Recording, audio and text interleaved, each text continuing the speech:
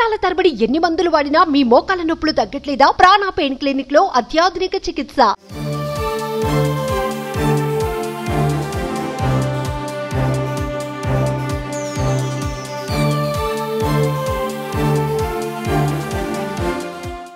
పవన్ కళ్యాణ్ గారు అసెంబ్లీలోకి వెళ్ళడము ప్లస్ ప్రసంగించడం కూడా జరిగింది. ఎలా అనిపిస్తుంది? పవన్ కళ్యాణ్ గారు ఒక పవర్.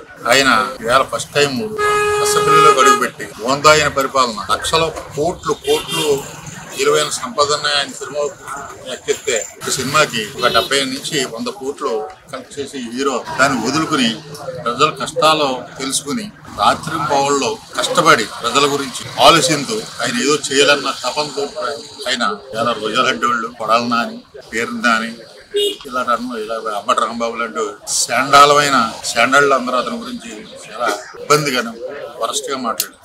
తప్పు చేసే వాళ్ళకి నిద్ర పట్టినవాడు తప్పు చేయాలన్న వాళ్ళకి ఉరుకు పుట్టిస్తాడు. తప్పు అన్న ఆలోచన ప్రజల్లో రానికుండా చేసే వ్యక్తి ఎవరైనా ఉన్నారంటే పవన్ కళ్యాణ్ అని గర్వం- గర్వంగా చెప్తారు జనసేన తరపు ఇరవై ఒక్క ఎమ్మెల్యేలు కూడా గెలిచి ఫస్ట్ టైం మరి అసెంబ్లీలోకి వచ్చారు. వాళ్ళు కూడా మరి ప్రజల పోర అవసరాల మీద పోరాటం చేయబోతూ ఉన్నారు ప్రశ్నించబోతూ ఉన్నారు. ప్రతిపక్షం కూడా లేని అసెంబ్లీని ఏ విధంగా చూస్తారు? ప్రతిపక్షం పవన్ కళ్యాణే పాలకపక్షం పవన్ కళ్యాణే. ఇరవై ఒక్క మంది కూడా ఒక్కొక్కళ్ళు కూడా మంచి వ్యక్తులు. ఆ దాంట్లో ఆ పార్టీ ఈ పార్టీ అని చూడకుండా కూడా ఒక ఎవరైతే నమ్మకంగా పనిచేయగలరు నిజాయితీ నిజాయితీ మారిపోయారంటే మానవ వర్గంలోనే కొద్దులు దొరికేసుకారు ఎమ్మెల్సీగా ఆయన సేవలు అందించారు. ఎక్కడో రాయమండ్రి నుంచి వచ్చి తక్కువ టైంలో నిడదల్లో ఫస్ట్ టైం మినిస్టర్ అయ్యారు. ఆ నమ్మకం కొంత కాబట్టి అటువంటి నాయకులందరినీ కూడా మనం నెగ్గుదామన్న కాన్ఫిడెంట్ ఆయన ముందు నుంచి ఉంది. ఇరవై ఒకటి కాదు ఇవాళ యాభై సీట్లు ఇస్తే యాభై సీట్లో కూడా పవన్ కళ్యాణ్ గారు ఎమ్మెల్యేలు నెగ్గుదురు ఈవేళ ప్రభుత్వాన్ని ముందుకు నడుపు నడుపుతానికి ఏమీ లేని అప్పుల్లో అప్పులు ఊపులో ఉండిపోయి ఒక అభివృద్ధి అంటూ ఏమీ లేని ఒక రోడ్డు లేదు ఒక పోలవరం జీవనాడు ప్రజల జీవనాడు లాంటి పోలవరం ప్రాజెక్టు కానీ ఏమీ లేని ప్రభుత్వాన్ని ఎంచుకుని ఇవాళ జోడెట్ల బండి కట్టినట్టు ఇవాళ ప్రభుత్వాన్ని నడిపించి ఘనత పవన్ కళ్యాణ్ గారు ఉందని నేను నమ్ముతున్నాను. సార్ పవన్ కళ్యాణ్ గారు ఫస్ట్ టైం అసెంబ్లీలో అడుగుపెట్టారు అలాగే ప్రసంగించారు. అసెంబ్లీలో ప్రతిపక్షం కూడా లేదు ప్రస్తుతానికి ఎలా అనిపిస్తుంది మీకు? ఏం చెప్తారు? ప్రజలే ప్రతిపక్షం లేకుండా చేశారండి. పవన్ కళ్యాణ్ గారిని మేమైతే సంఘంలో చూస్తున్నాం నిజంగా ఆయన అనుకున్నది సాధించాడు. ఓటు చే- ఓటు విడిపోకూడదని చెప్పేసి కూటమిగా ఏర్పడి ఇవాళ నూట అరవై నాలుగు సీట్లు గెలిచి ఆ ఘనతంతా గేమ్ చేంజర్ ఇవ్వాల పవన్ కళ్యాణ్ గారు. ఎలా ఉండబోతోంది మరి రాష్ట్ర అభివృద్ధి కావచ్చు? అలాగే అమరావతిలో కూడా రాజధాని పనులు చకచకా జరుగుతుంది ఏం చెప్తారు? అభివృద్ధి వాళ్ళ అభివృద్ధి చేయడం కోసం వీళ్ళందరూ కలిసి కూటమిగా ఏర్పడి దీన్ని చేసి చూపిస్తామని చెప్పేసి ప్రజల్లో కూడా ఒక రకమైన ధైర్యం తెచ్చారు.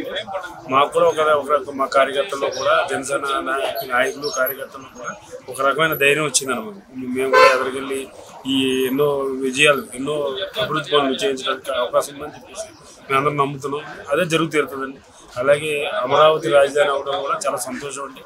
Next five years maybe route map రావడానికైనా one year పట్టొచ్చేమో. ఎందుకంటే ఇప్పుడు ఉన్న సిచ్యువేషన్ కదా. ఫైవ్ ఇయర్స్లో మీరు ఎక్కడికి వెళ్ళింది అనుకుంటే after two thousand nineteen two thousand fourteen నుంచి టూ థౌజండ్ నైన్టీన్ వరకు ఉన్న కన్స్ట్రక్షన్ని it has taken again twenty years back deal చేసుకుంటూ దాన్ని కేటగరైజ్ చేసుకుని తీసుకురావడానికి మంచి టైం పడుతుంది. But too early to comment on anything but as we're hoping something constructive will have చెప్పండి కూటమితో అభివృద్ధి ఎలా జరుగుతుంది లాస్ట్ ఫైవ్ ఇయర్స్ అయితే అమరావతిని సర్వనాశనం చేశారు.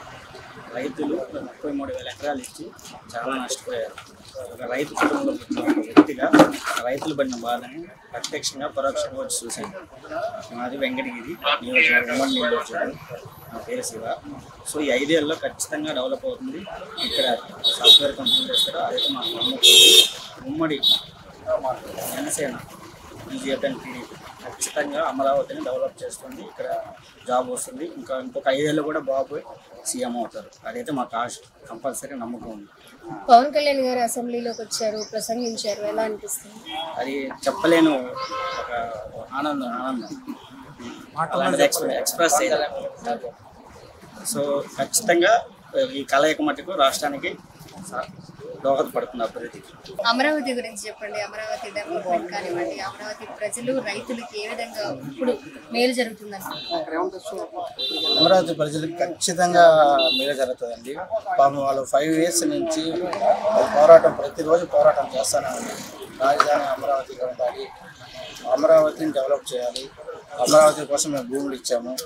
అమరావతి కోసం మేము మా పిల్లలు అందరూ త్యాగం చేశాము మా కుటుంబాలందరూ అమరావతి ఖచ్చితంగా డెవలప్ చేస్తారు. మన రాజధాని ఇక్కడే ఉండాలని మేము కూడా కోరుకుంటాము. భారీ మెజారిటీతో కూటమి అయితే అధికారంలోకి వచ్చింది. మరి ఫైవ్ ఇయర్స్ అభివృద్ధి ఏ విధంగా ఉంటుందండి? లాస్ట్ ఫైవ్ ఇయర్స్ అనేది ఆంధ్రప్రదేశ్ చాలా నాశనం అయిపోయిందని చెప్పాలి.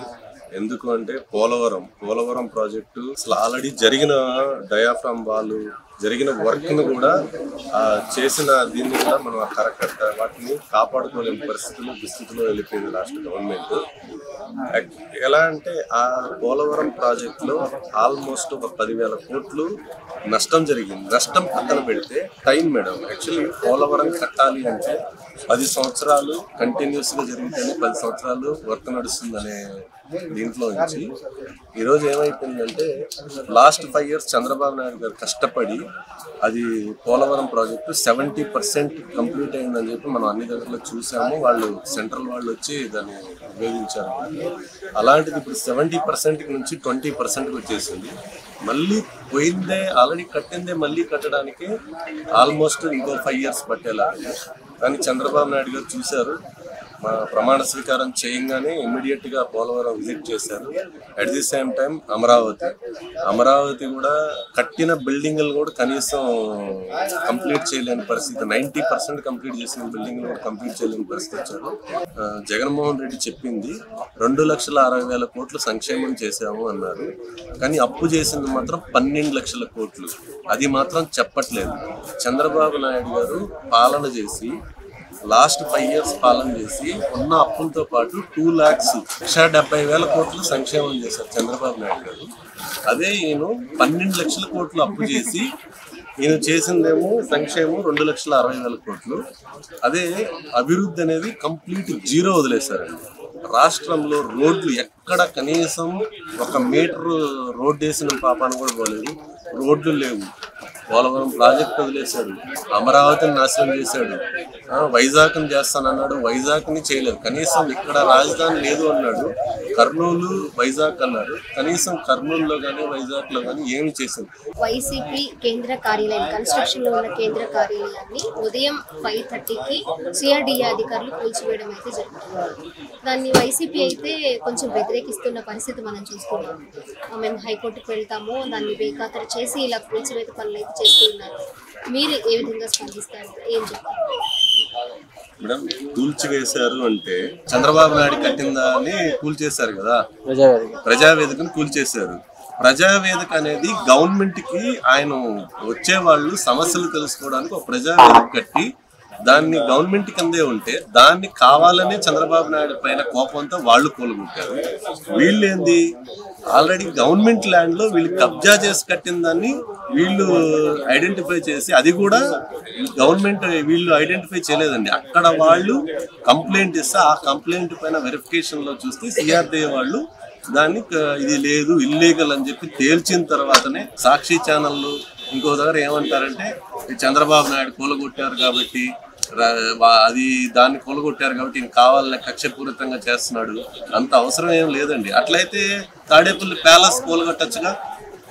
గవర్నమెంట్ కూలగొట్టాలి అనుకుంటే దాన్ని ఎందుకు కూలగొట్టింది? తాడేపల్లి ప్యాలెస్ కూలగొట్టాలిగా?